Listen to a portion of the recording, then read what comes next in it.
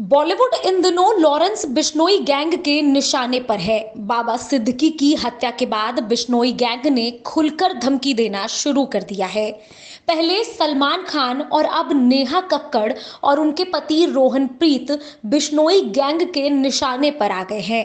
आपको बता दें, लॉरेंस बिश्नोई गैंग के निहंग मान सिंह ने वीडियो जारी कर नेहा कक्कड़ और उनके पति रोहन प्रीत को जान से मारने की धमकी दी है। निहंग मान ने वीडियो जारी कर उस वीडियो में ये साफ़ कहा है कि रोहन प्रीत और नेहा कक्कड़ ने अपने सोशल मीडिया अकाउंट्स पर आपत्तिजनक कंटेंट डाले हैं, जिससे समाज में गंदगी फैल रही है।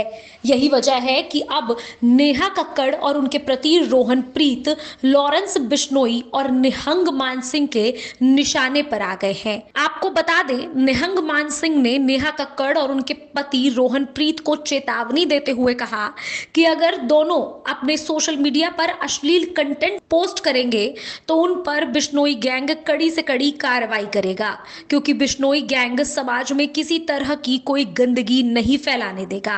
पहले सलमान खान लॉरेंस बिश्नोई गैंग के निशाने पर थे और अब नेहा कक्कड़ और उनके पति रोहन प्रीत को भी धमकियाँ मिलनी शुरू हो गई हैं।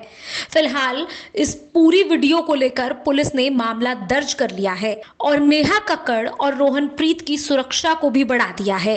लेकिन जिस तरह लॉरेंस बिश्नोई गैंग अब खुलकर धमकी दे रही है, उससे कहीं ना कहीं पुलिस की सुरक्षा पर भी सवाल खड़े होते हैं।